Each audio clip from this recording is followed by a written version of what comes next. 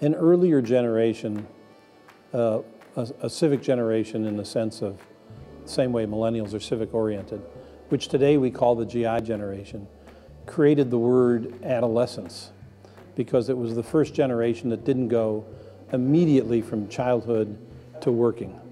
and actually had this extended period of time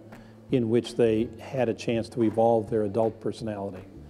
Millennials are extending that time of adolescence, which we now call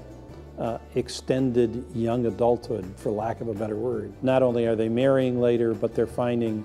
the need to do a lot of maneuvering in their careers to find where they want to be and where they can be. A third of them are still living with their parents or have gone back to living with their parents to try and get past the economic challenges of large student debt and unaffordable housing and lousy wages and jobs uh, as, a, as an economic survival tool in an environment in which they find um, quite comfortable because how good friends they are with their parents. All of those extensions of the time to find oneself, uh, and to put it in boomer language, uh, has led to this concern about, in the words of the movie title, their failure to launch.